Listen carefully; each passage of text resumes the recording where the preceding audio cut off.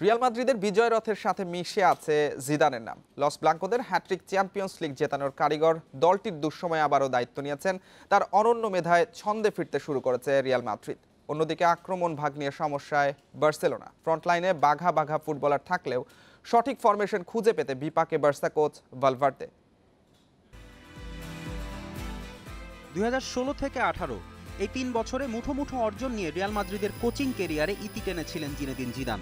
খেলোয়াড়ি জীবনের মতো কোচিংয়েও ছিলেন চ্যাম্পিয়ন। টানা তিনবার ইউরোপ শ্রেষ্ঠত্বের মুকুট এনে দেন রিয়ালকে। জিদান চলে যাওয়ার পর রিয়াল ছেড়ে যান ক্রিস্টিয়ানো রোনালদো। দুই মহারথীর শূন্যতায় পথ হারিয়ে ফেলে রিয়াল। উপায়ন্তর না দেখে শেষমেশ জিদানেই সমাধান খুঁজেছে তারা। আবারও লস ব্লাঙ্কোদের দায়িত্ব নিয়ে দলকে জাগিয়ে তুলেছেন সবার প্রিয় জিজু।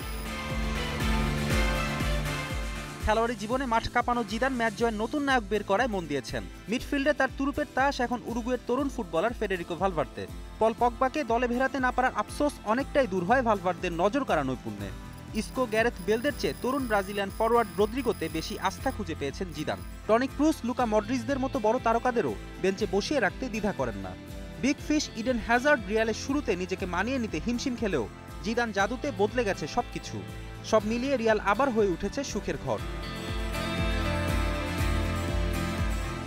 রিয়াল যখন গুছিয়ে নিয়েছে দল, তখন বার্সেলোনা আবারও কিছুটা চাপে। যদিও গত এক দশকে বার্সা সেভাবে পথ হারায়নি।